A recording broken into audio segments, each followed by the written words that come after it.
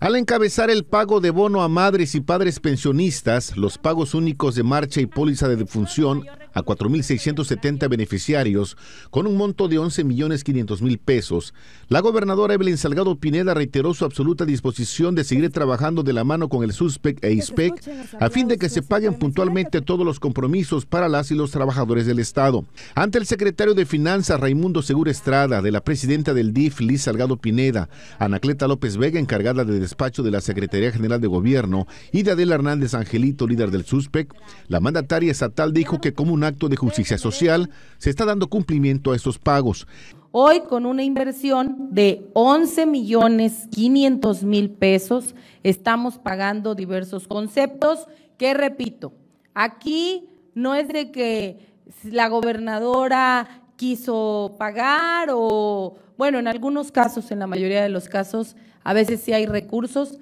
pero hace falta voluntad y sensibilidad de los gobernantes. Eso sí es cierto. Puede haber recursos, pero si no hay sensibilidad y si no hay voluntad, poco se puede hacer.